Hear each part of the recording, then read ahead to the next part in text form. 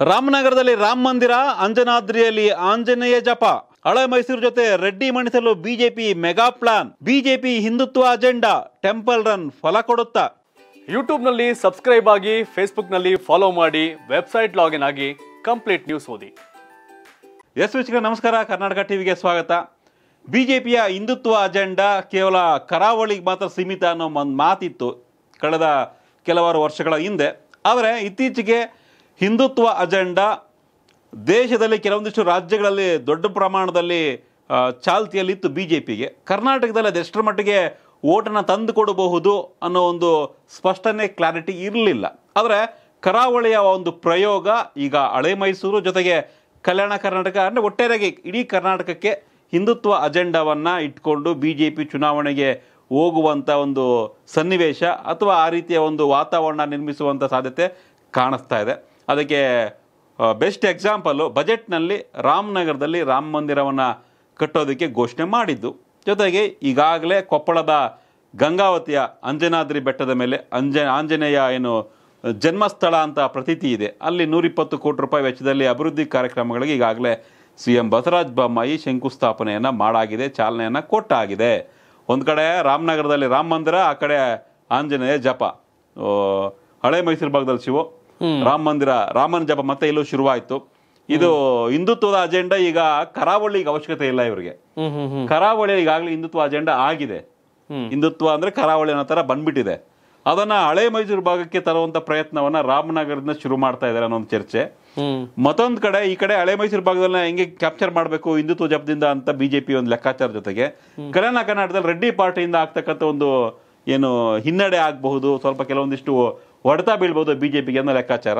ಅದನ್ನು ಒಂದು ರೀತಿ ತಳ್ಳಾಕೋದಕ್ಕೆ ರೆಡ್ಡಿಯ ಪ್ರಭಾವವನ್ನು ಕಡಿಮೆ ಮಾಡೋದಕ್ಕೆ ಈಗ ಅಂಜನಾದ್ರಿಯಲ್ಲಿ ಆಂಜನೇಯ ಜಪ.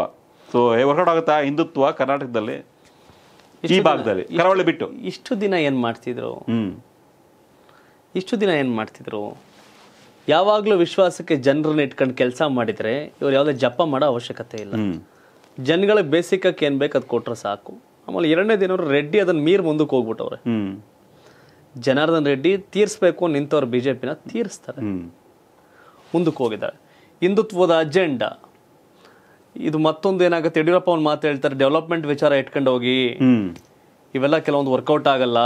ಜನ ಬುದ್ಧಿವಂತರಿದ್ದಾರೆ. ಇದ್ರ ಜೊತೆಗೆ ಮೊನ್ನೆ ಮೋದಿ ನರೇಂದ್ರ ಮೋದಿನೇ ಡೆವಲಪ್ಮೆಂಟ್ ಅಂತ ಹೋಗ್ತಿರ್ಬೇಕಾರೆ ಇವ್ರಿಗೆ ಹಿಂದುತ್ವ ಹಿಂದುತ್ವ ಹಿಂದುತ್ವ. ಮಂಡ್ಯಗೆ ಹೋಗಿದ್ರಿ ನೀವು ಮೊನ್ನೆ. ನರೇಂದ್ರ ಮೋದಿ ಬಂದಿದ್ರು. ಅಲ್ಲಿ ಉರಿಗೌಡ ದೊಡ್ಡನಂಜೇಗೌಡ ದ್ವಾರ ಹಾಕಿದ್ರು. ಅಂದ್ರೆ ಒಂದ್ ರೀತಿ ಹಿಂದುತ್ವನೇ. ಹ್ಮ್. ಟಿಪ್ಪುನ ಇವ್ರು ಕೊಂದ್ರು ಅಂತ ಒಂದು ಹೊಸ ತೀರಿ ಬಂತು ಅನ್ನೋ ಒಂದು ಚರ್ಚೆ. ಸೊ ರಾತ್ರಿ ರಾತ್ರಿ ಚೇಂಜ್ ಮಾಡ್ಬಿಟ್ರು. ಅಂದ್ರೆ ಬಿಜೆಪಿ ಅವ್ರನ್ನ ಅದನ್ನ ಬಲವಾಗಿ ನಂಬೋದಾಗಿದ್ರೆ ಉಳ್ಸ್ಕೊಂಬೋದಾಗಿತ್ತು ಅದನ್ನ ಸೊ ಅವರೆಲ್ಲ ಗೊಂದಲ ಇದೆ. ಈಗ ನಮ್ಗೆ ಮಂಡ್ಯ ನಾನೊಬ್ಬ ಮಂಡ್ಯದವನಾಗಿ ನಾವು ಕೇಳೋದು ಕಬ್ಬುಗ್ ಬೆಲೆ ಕೊಟ್ರ ಫ್ಯಾಕ್ಟ್ರಿ ನಡೀತಾ ಇತ್ತ ಭತ್ತ ರೇಟ್ ಆಯ್ತಾ ನೀರ್ ಬತ್ತಾಯ್ತಾ ಸಬ್ಸಿಡಿ ಸಿಕ್ತಾ ಸಾಲ ಕೊಟ್ರ ತಹಶೀಲ್ದಾರ್ ಆಫೀಸ್ ಲಂಚ ಆಯ್ತಾ ಇವೆಲ್ಲ ನೋಡ್ಕೊ ಬತ್ತೀವಿ ಅಷ್ಟೇ. ನಮ್ ಭತ್ತ ಖರೀದಿ ಸಾಬ್ರು ತಗೋತಾರೆ ನಮ್ ಗಂಡಿಕರ ಹಾಕಿದ್ರೆ ತಗೊಂಡು ಹೋಯ್ತಾರೆ ಸಾಬ್ರು ಕುಯ್ಕೊಳಕ್ಕೆ. ಇವೆಲ್ಲ ನಡೀತಾ ಇರುವಂತ ಪ್ರವೃತ್ತಿ ಇದ್ರಲ್ಲಿ ನಮ್ಮಲ್ಲೇನು ಬೆಂಕಿ ಹಚ್ಚಿ ಇವ್- ಇವೆಲ್ಲ ನಡೆಯಲ್ಲ. ಇವೆಲ್ಲ ಆಗಲ್ಲ. ಬೇಕಾದ್ರೆ ಬಂದು ನಿಮ್ಮ ಭಾಗಕ್ಕೆ ನೀರಾವರಿ ಇಲ್ದರೆ. ಈಗ ಯೋಗೇಶ್ವರ್ ಬಿಜೆಪಿ ಗೆಲ್ಸಲ್ಲ ಚನ್ನಪಟ್ಟಣ. ಮಂಡ್ಯ ಜಿಲ್ಲೆ ಸೋರ್ಕೆ ಆದಂತ ಶಿಂಷಾ ನೀರು ದೇವೇಗೌಡ ಬರ ನೀರ್ ತಕೊಂಡೋಗಿ ನೀರ್ ಕೊಟ್ಬಿಟ್ಟು ಗೆದ್ದಿರೋದು ಅಲ್ಲಿ. ಅಂದ್ರೆ ಆತರ ಅವೇರ್ನೆಸ್ ಕ್ರಿಯೇಟ್ ಮಾಡಿರೋದು. ಡೆವಲಪ್ಮೆಂಟ್ ನಡೆಯುತ್ತೆ ಹಳೆ ಮೈಸೂರು ಭಾಗದಲ್ಲಿ. ಹಿಂದೂ ಮುಸ್ಲಿಂ ಈ ಬೆಂಕಿ ಹೆಚ್ಚ ಕೆಲಸ ನಡೆಯಲ್ಲ. ನಡೆಯಲ್ಲ. ಕೆಲಸ ಕೊಡಿ. ಹ್ಮ್. ಆ? ಬೆಲೆ ಕೊಡಿ. ಬೆಳೆಗೆ ಬೆಲೆ ಕೊಡಿ ಜನಗಳಿಗೆ ಬೆಲೆ ಕೊಡಿ ಓಟ್ ಹಾಕ್ತಾರೆ. ಈ ಉರಿಗೌಡ ನಂಜೇಗೌಡ ಇವ್ಯಾವ ನಮ್ಮಲ್ಲಿ ವರ್ಕೌಟ್ ಆಗಲ್ಲ. ಆಗಲ್ಲ. ಕೇಳಿ ಬಿಜೆಪಿ ಕಾರ್ಯಕರ್ತನ ಬೇಕಾರೆ. ಹ್ಮ್. ನಡೆಯಲ್ಲ. ಇವೆಲ್ಲ ನಮ್ಮಲ್ಲಿ ಉರಿಯಲ್ಲ. ತಪ್ಪು ಮಾಡಿದವನು ಗೌಡ ಉರಿಗೌಡ ಆದ್ರೂ ಅಷ್ಟೇ ಯಾವ ಕಾನ ಆದ್ರೂ ಅಷ್ಟೇ ಕೇಳಲ್ಲ. ಕೇಳಲ್ಲ. ತಪ್ಪಾದ್ರೆ ಮುಲಾಜೆ ಇಲ್ಲ. ಸರಿ ತಪ್ಪು ನಡುವಿನ ಸಂಘರ್ಷ ಆಗ್ಬೇಕು ನಮ್ ನಡುವೆ. ಹ್ಮ್. ಸರಿ ಯಾವುದು ತಪ್ಪು ಯಾವುದು. ಅಂತ. ಅದ್ರ ನಡುವಿನ ಸಂಘರ್ಷ ಆಗ್ಬೇಕು. ಹಿಂದೂ ವರ್ಸಸ್ ಮುಸ್ಲಿಂ ಸಂಘರ್ಷ ಅಲ್ಲ. ಸೊ ಈಗ ರಾಮ ಇವೆಲ್ಲ. ಹಂಗೂ ಓಕೆ ಮಂಡ್ಯ ಶುಗರ್ ಫ್ಯಾಕ್ಟ್ರಿ ಶುರು ಮಾಡಿ ಪಿ ಎಸ್ ಎಸ್ ಕೆ ಶುರು ಮಾಡಿದ್ರು ಒಂದಷ್ಟು ಕೆಲಸ ಮಾಡಿದ್ದಾರೆ ಇಲ್ಲ ಅಂತೇನಿಲ್ಲ. ಡೆವಲಪ್ಮೆಂಟ್ ವಿಚಾರ ಇಟ್ಕೊಂಡು ಹೋದ್ರೆ ಉದ್ಧಾರ ಆಗ್ತಾರೆ. ಈ ನಮ್ಮ ಅಶ್ವಥ್ ನಾರಾಯಣ್ ಮಿನಿಸ್ಟರ್ ಆಗಿದೆ ನಮ್ಮ ಪಕ್ಕ ವಿದ್ಯಾಪೀಠ ಅಂತ ಐತಲ್ಲಿ ಅಲ್ಲಿ ಬೆಸಗಿರಲಿ ಅಲ್ಲಿ ಸ್ಕಿಲ್ ಡೆವಲಪ್ಮೆಂಟ್ ಕಾಲೇಜ್ ಮಾಡ್ತೀವಿ ಅಂತ ಬಂದ್ರಪ್ಪ. ವಿಸಿಟ್ ಮಾಡಿದಾಗ ನಾನು ಒಂದು ಆರ್ಟಿಕಲ್ ಬರ್ತಿದ್ದೆ ನಾಪತ್ತೆ. ಏನೂ ಆಗ್ಲೇ ಇಲ್ಲ.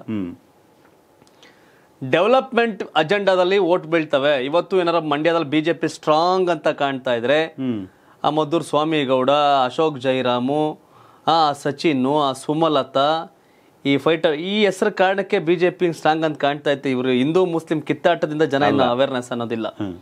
ಜನಕ್ಕೆ ಏನ್ ಬೇಕು ಅದನ್ನ ಕೊಡಿ. ಬದುಕಕ್ಕೆ ಅವ್ರು ಓಟ್ ಹಾಕ್ತಾರೆ. ಸೊ ಈಗ ರಾಮನಗರದಲ್ಲಿ ರಾಮ ಮಂದಿರ ಅಲ್ಲಿ ಅಂಜನಾದ್ರಿ ಬೆಟ್ಟದಲ್ಲಿ ಆಂಜನೇಯ ಜನ್ಮಸ್ಥಳವನ್ನು ಅಭಿವೃದ್ಧಿ ಮಾಡುವಂಥದ್ದು. ನೀವು ಆಂಜನೇಯಂದ ಅಂಜನಾದಿದು ರಾಮ ಮಂದಿರ ರಾಮನ ರಾಮನಗರದ ಕಟ್ಟಿ ಅದರಿಂದ ಪ್ರವಾಸೋದ್ಯಮ ಅಭಿವೃದ್ಧಿಯಾಗಿ ಇಂಪ್ರೂವ್ಮೆಂಟ್ ಆದರೆ ಜನ ಖುಷಿ ಪಡ್ತಾರೆ. ಆಗ ಓಟ್ ಹಾಕ್ಬೋದೇನೋ. ರಾಮನಗರದಲ್ಲಿ ಮುಸಲ್ಮಾನರು ಜಾಸ್ತಿ ಇದ್ದಾರೆ ಹಾಗಾಗಿ ನಾವು ಮಂದಿರ ಕಟ್ಟಿದ್ದೇವೇನೋ ಅಂತ ನಾವು ಓಟ್ ತಗೋತೀವಿ ಅಂತ ಸುಳ್ಳು. ಸುಳ್ಳು. ಸುಳ್ಳದು. ಸಮಸ್ಯೆಗಳು ಸಾವಿರ ಬಿದ್ದವೆ. ಮಾಡಿ ಅದನ್ನ ಇವೆಲ್ಲ ವರ್ಕೌಟ್ ಆಗಲ್ಲ.